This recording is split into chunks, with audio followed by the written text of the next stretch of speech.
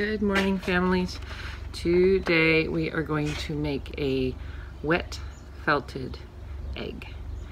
And um, so you're going to learn about how to wet felt and you can extend this into all kinds of places um, in your curriculum.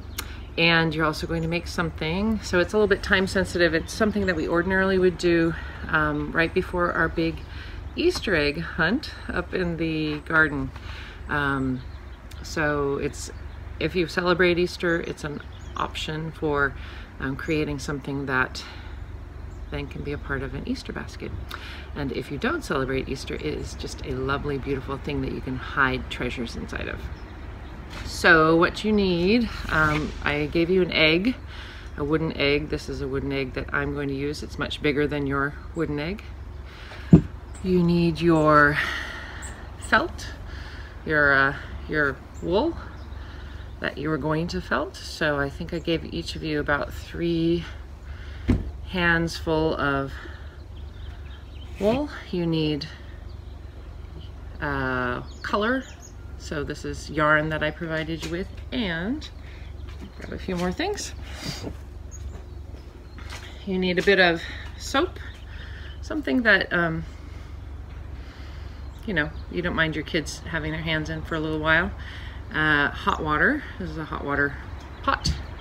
And um, I like to use like a jelly roll tray just to keep the water inside um, to do your felting. So the first thing you have to do is you have to make a bed. That's what I think of it as. Just tease apart your wool felting so that it's sort of wispy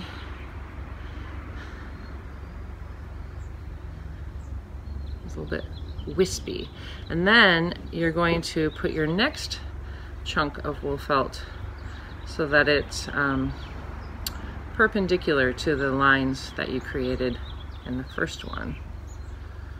So if your first one is laying there horizontally, then layer this one on top of it vertically so that they each have a direction they go in. And then the next pieces of wool like, and this is, this is, you don't need to do this. Your children need to do this. So just to be clear, once again, everything that I'm doing is something I would do with your children in class. I would show them,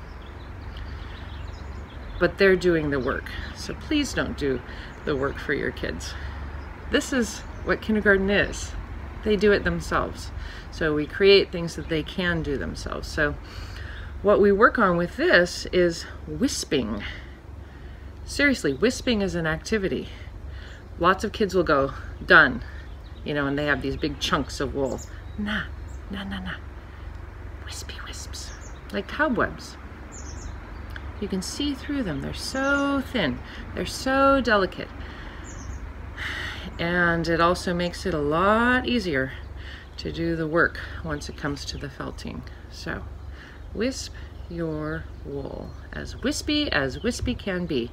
And you're making essentially like a mat that will be approximately round and fluffy. Okay, so now that you've got your, it's like a little nest of wool.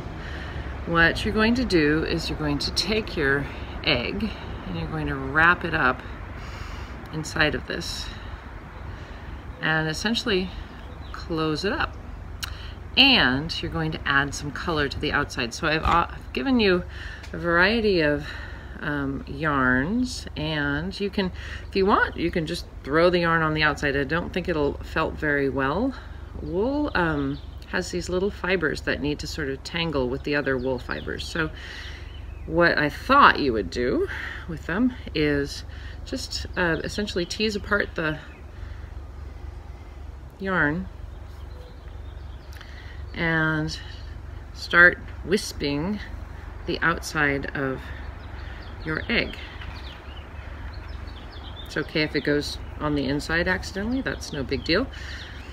Um, you can do all kinds of fun things with these eggs. You can, uh, if, if you get really good at this, you can um, make the inside a different color than the outside because um, you'll see in a while that we are eventually going to open the egg up and you'll be able to see both the inside and the outside. So You can do all kinds of things with these eggs, but um, including making like a solid mat of color on the outside if you have a bunch of color to choose from. Um, anyways, just keep on decorating the outside of the egg. And again, this is where you get a little glimpse into your child. Like, are they patient enough to wisp it? Or do they just want to be done with it? Do they, are they registering um, how lovely the colors are? Do they have an opinion on colors? Do their colors seem to go together? Or do they just grab the first color that's available to them? So all these give you a little glimpse just sort of into the personality of your child and how they how they settle into an activity. So I'll just call that done. Doesn't it's perfectly fine. So next step is the actual wet felting. Okay, for this part, roll up your sleeves. We are rolling up our sleeves. We are rolling up our sleeves. It might do to have a towel on hand to just dry your hands off. It's a wet process. So, you got your little nest here. I just, you can, you can do this in any number of ways. Just using a little bit of a drizzle just put the tiniest drizzle of soap on the outside and then set your uh, egg in your tray because you're going to pour hot, hot water on it. So this is the part that parents really need to step in and do. Don't let your child handle the hot water pot. Um, and you assess when it is cool enough for your child to take on the work, okay?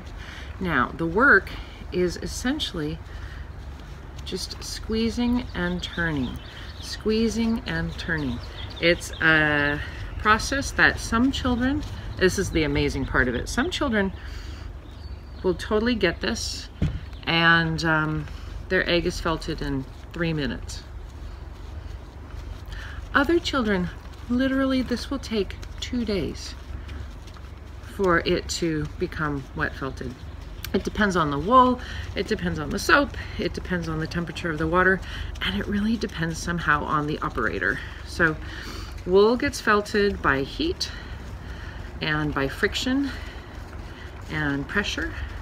And um, so you can see it's like a little bit soapy, but not really. I'm gonna add a tiny bit to the other side where I didn't have much soap so that it's sort of, it's just sort of nice to stand here and round and round it goes. It's quite wrinkly, doesn't look like much.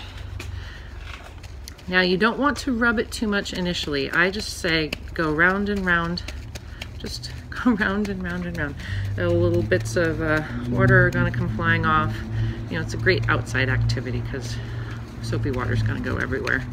Um, but yeah, you just go round and round and round and round. That's it.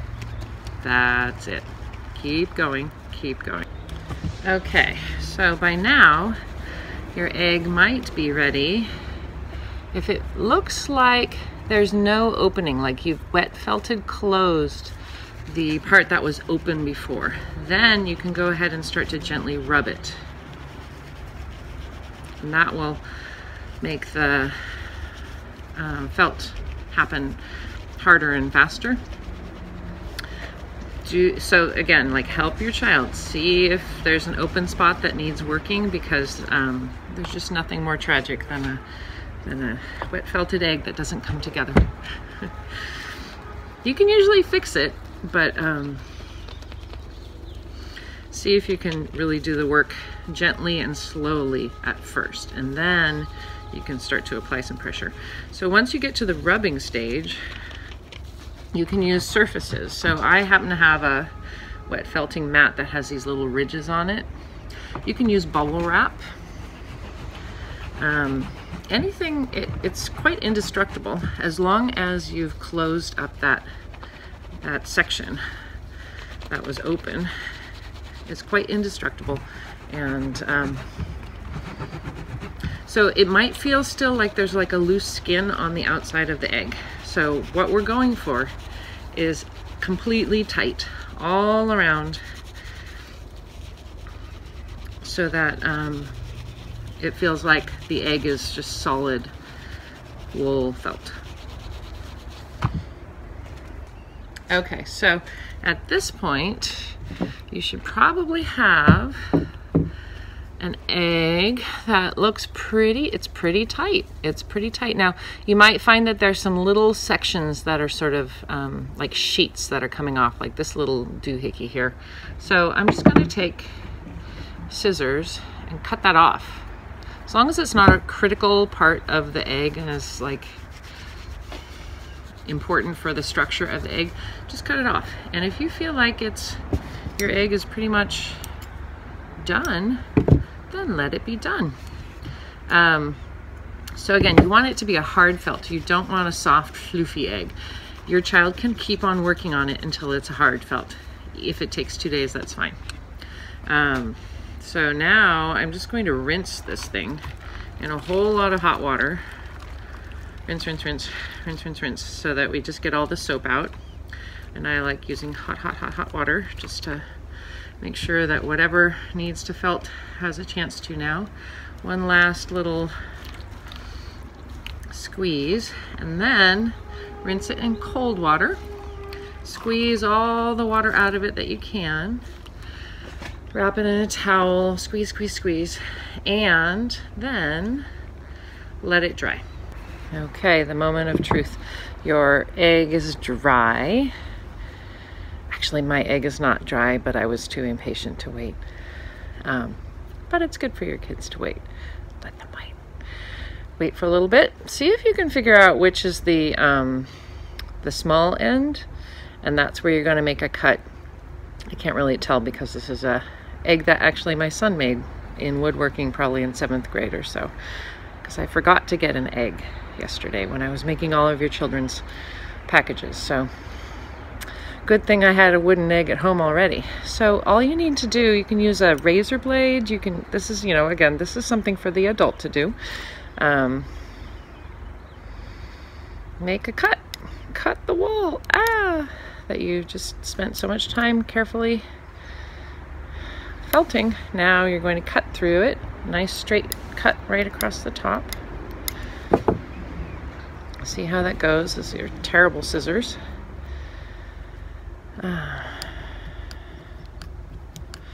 So razor blade's like a really sharp one in a, um, oh, what are those things called? The thing that holds the razor blade so it's safe. Those are really nice to work with actually. Um, make a nice little cut. It's coming, it's coming across the top like maybe a inch and a half, two inch cut. The idea is you're going to take the egg out. The egg will not stay in there. You're going to put something else in there. What could you put in there? Okay, I've ended up, you can cut like four, you know, two directions. So it looks like that. And then cut far enough, like don't overcut it because then it's not going to contain anything, but cut just enough that you can get that egg out. And then what you want to do is, mine is still wet because I didn't wait long enough. So go ahead and let it dry and let it dry with a little bit of um, form to it and you have yourself a wet felted Easter egg. Now, um, usually I would put a little bit of green wool inside. Um, you can use, if you have like Easter egg grass, you can put Easter egg grass inside. Um, if there's a little figure that you can felt or you have around the house, like a little chick or a little bunny or a little ducky, that's a nice thing to find inside. There is your wet felted Easter egg.